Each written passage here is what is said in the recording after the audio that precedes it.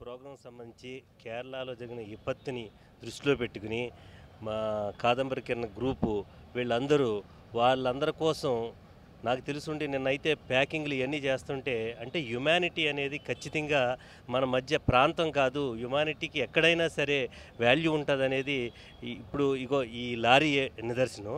నేను ప్రతి ఒక్కరి దగ్గర నుంచి ప్రతి సరుకు వాళ్ళకి ఏది అవసరం ఉంటుందో అవన్నింటినీ సేకరించి ఈరోజు మనం సైతం కాదంబరి కిరణ్ గ్రూప్గా ఇవన్నీ ఏర్పరిచి మా ఫిలిం ఛాంబర్ దగ్గర నుంచి మనం సైతం వాళ్ళు ఒక లారీని ఆ కేరళలో ఎన్నో ఇబ్బందులు. వాళ్ళకి పాలు ఉన్నాయో లేదో తెలియదు తిన తినడానికి తిండి ఉన్నదో లేదో తెలియదు ఎందుకంటే చూస్తుంటేనే మనకి హృదయ విధాకరం అయిపోతున్న ఈ ఆ సిచ్యువేషన్ని వాళ్ళ కోసం ఏదటు చేయాలనే ఉద్దేశంతో మనం సైతం వాళ్ళు ప్రతి ఒక్కళ్ళ దగ్గరికి ఇదిగో మన సోదరులు ఇబ్బంది పడుతున్నారనే ఉద్దేశంతో ప్రతిదీ సేకరించి ఈ లారీని మా సోదరుల కోసం అదే క- కేరళ వాళ్ళ కోసం పంపిస్తున్నారు. నిజంగా చాలా గొప్ప మానవత్వానికి ఇది ఒక నిదర్శనం.